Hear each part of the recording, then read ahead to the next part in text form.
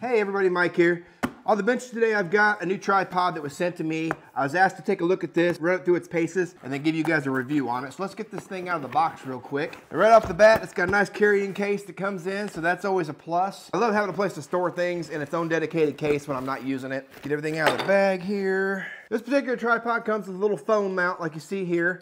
That's becoming pretty popular these days. Then you've got the actual tripod here itself. This particular tripod comes with this little handle like you see here, which can be inserted up here by your camera mount. The handle's got a little indentation here that will set where the set screw goes. So that's locked in place. Now you can pan using this handle instead of having to grab your phone or when you loosen your knob, you have a full adjustability. So I kind of like the idea of that handle. I feel like it gives you a little bit more maneuverability than just grabbing the camera that way. But if you don't want it, you can leave it off. That's the nice thing about that as well. So included in your bag of parts here is an extra QR attachment plate, which you have another one is here as well. So it comes with two. You got an extra collar here in case one of the ones on the center post here, on the center column here gets damaged or becomes lost. An extra set screw for your T-handle here to any of the hardware on the tripod tripod. You got two extra feet here for the bottom of your tripod legs. So that's kind of nice that they include those in the in the kit. It's always nice to have a few extra parts in case something were to become lost or damaged. Let's take a look at this tripod real quick. I really like this style tripod. It's got a ton of adjustability to it. So let's run through some of the features here on the bench real quick. And then I'll throw some shots up here while I'm talking of, how, of different ways this can be used out and about. One of the first features I like about this is how adjustable the legs are. You can make this a real nice wide base if you need the stability, like I've got it here on the table. But then you can also take these legs and they've got one one, two, they got two more adjustments you can go to. So now you've got a more narrow base, but you can get more height out of this. And not to mention, then you've got four different extensions these legs can go through. So there's your leg fully extended. Let's go and get these other ones done too. I'll set this up on the floor now. So now I've got these legs fully extended, but the nice part about this is we're not done yet. We can run this pole up here even higher. So now at our max height, we are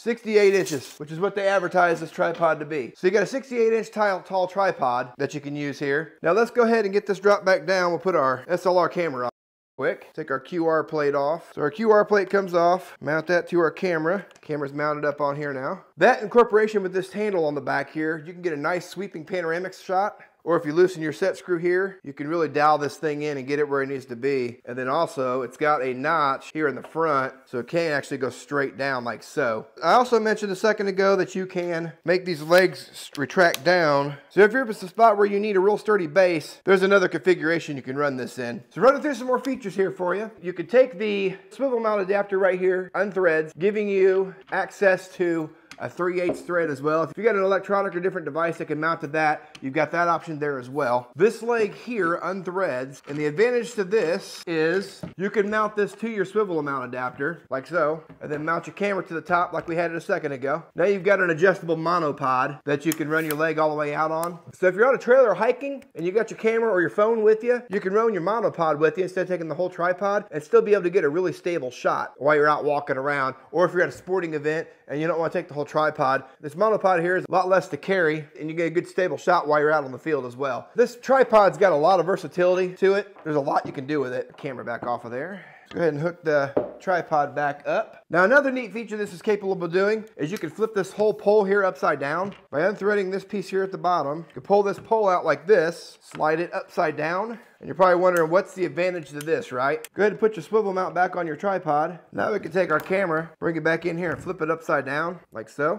Now we've got a nice option for macro photography as well. This thing's got a ton of different options you can do with it. It's really kind of amazing how much you can pack into one small tripod. For me and the uses I'm gonna be using this on, we live on and operate a farm and we do a lot of nature photography and, and photography of our animals, part of our advertising and marketing strategy. This tripod's gonna come in extremely handy to me, being able to get out in the field and get different various shots and options, whether it be like this in this macro photography mode if we're doing something with like our garden or just being able to set this up in our field while we're running animals or, or operating tractors or whatever. Really looking forward to getting this out and getting some use out of this. This tripod feels like it's built extremely well. The finish on this thing looks to be very durable as well. So if you're in the market for a new tripod, check this one out and see what you think about it. So far, I'm really impressed with all the options this tripod has to offer.